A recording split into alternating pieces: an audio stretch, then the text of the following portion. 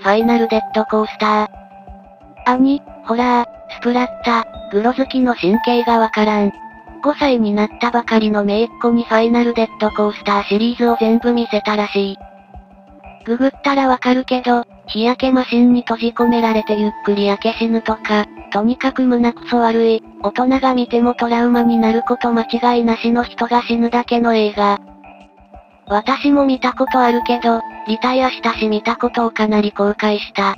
絶望感やばいしグロい。兄嫁さんが仕事でいない間に、娘とこの手の映画を楽しみたい、と少しずつ見せたらしい。さらに姪っ子が見たくない、と嫌がったにもかかわらず、無理やり膝の上に乗せて後ろから抱きしめて、逃げられないようにしたらしい。目をつぶろうとするとまぶたを無理やり開かされたと。これは姪っ子本人からも聞いたし、兄も認めてる。子供って感受性豊かだから、何か見ると、あれ落ちてきたら死んじゃう、ここに入って出られなくなったら死んじゃう、といつも怯えるようになったらしく、それが可愛いんだとか。私もその出来事の後の姪っ子にあった。木登りや公園の遊具が大好きな子だったのに、外に出ても立ち尽くしている。トラックが通ると目を背けて、おばちゃん、近づいたら死んじゃうからダメ、という。トラックの積載物が落ちて、後ろの車両の運転手が死ぬシーンを見たからだと思う。で、兄嫁と兄が大喧嘩してる。兄は、納得いかない。子供だからって見せるものを規制するべきじゃない。俺は父親なんだから何が悪いのかわからないし、娘も身の回りのことを気をつけるようになった。いいことじゃないか。と怒ってた。兄嫁には、兄が本当にひどいことをしてしまいました。姪っ子のためにできることは何でもします。まずはあの馬鹿をあなたから引き離します。と両親、私揃って謝った。兄嫁は、娘のカウンセリングもそうだが、あの人こそ受けるべきです。弱い子供であれば嫌がっていても何しても良いと思えること、怖がる子供を見て可愛いと思えるのは異常です、と冷静だった。これが3ヶ月前。姪っ子は兄嫁両親のところで楽しいアニメや5本を読んで、少しずつ元気になってきている。兄はというと、カウンセリングを堅くなに拒んでいたが、じゃ、離婚するわ、という兄嫁の一言で先日ようやくカウンセリングを受け始めた。兄はどちらかというと陰キャで、距離感おかしいところが時々あったらしい。多分兄嫁さんは兄の超タイプの人だったから気をつけてたんだろう。姪っ子にしたことが虐待だと気づいてほしい。トイレの順番待ち。この間東京に用事があって行ったんだよ。片田舎からの状況なので朝一の高速バスに乗って、9時頃に新宿駅に着いて、で、その途中にトイレ休憩もあったんだけど眠くてずっと寝てたのよ。そしたら、新宿駅に着いた頃にはうんこ出たさがマックスになっちゃって、ケツ閉めながらバス降りて新宿駅でトイレ探したんだけど、なかなか見つからないのな、あそこ。ようやく、トイレ、みたいな表示を見つけてやったと思ったらまだそこにはなくて、トイレ、トイレ、みたいに色々迷路みたいに歩かされたんだ。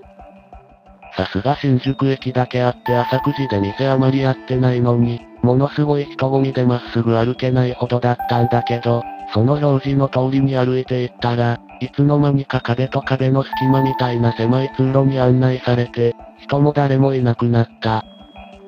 その頃には俺の肛門は限界寸前だったが、細い曲がり角を曲がったところでようやくトイレを見つけた。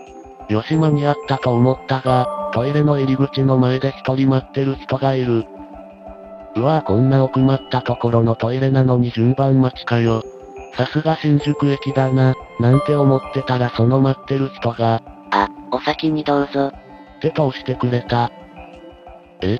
なんでと思いつつ肛門爆発寸前だったので、あ、すいません、と言いもうダッシュで個室へ。洋式の便器に座ると同時にうんこ放出。ふう、なんとか間に合ったか、と冷静になってあれと思った。お先にどうぞって、個室が空いてるのにさっきの人は一体何を待ちしてたんだ？しかも個室は俺が今入ってるのを含め二つ、どっちも空いてたのにあいつは何を待ってたんだ？次の瞬間、閉じたドアと壁の3ミリくらいの隙間から、刃物がスッと差し込まれた。寿司屋が使うような柳刃包丁がスッと差し込まれたかと思うと、隙間を上下に思いっきりガチャガチャし始めた。閉まってる鍵の部分に当たっても、お構いなしでガシャガシャぐさぐさ刺しまくってくる。俺はあまりのことに震え上がって便座の上で膝抱えてじっとするしかなかった。そのうち、包丁は反対側の隙間、下の床とドアの隙間からも差し込まれて上下左右に暴れ回ったが、ギリギリ俺の体には当たらずに済んだ。しばらくすると包丁は引っ込み、物音一つしなくなったんだが、俺は恐ろしくて5分くらいはそのまま便座の上で固まってた。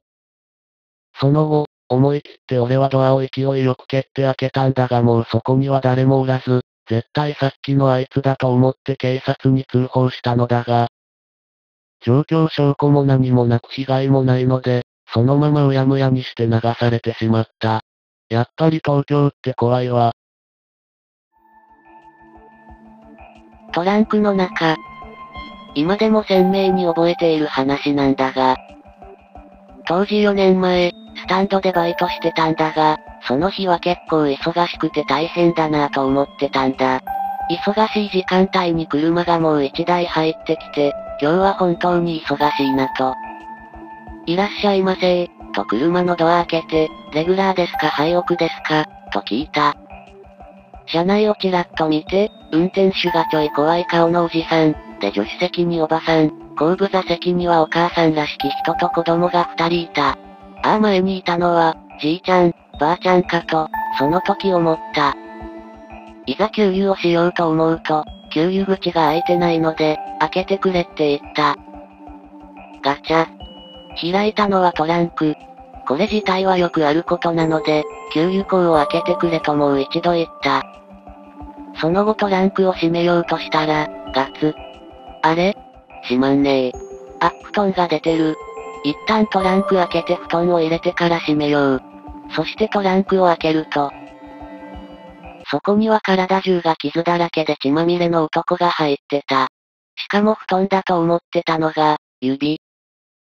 見てはいけないものを見てしまった。直感で消されるとさえ思った。もう怖くて怖くて、本気で狂った。すごく怖かったんで、ガソリン入れて速攻返した。帰り際におばあちゃんに睨まれた。その時のおばあちゃんの目がすごく怖かったのを覚えてる。その後、数日間はそのことが頭から離れなかった。殺されると本気で思っていた。まあ結局、何もなかったんで安心した。よくよく考えると、車内に父親らしき人がいなかったので、あれは父親だったのかなって思う。なぜあの人は血だらけで、帰り際におばあちゃんに睨まれたのかは今もわからない。ああなんかあんまり怖くねえな、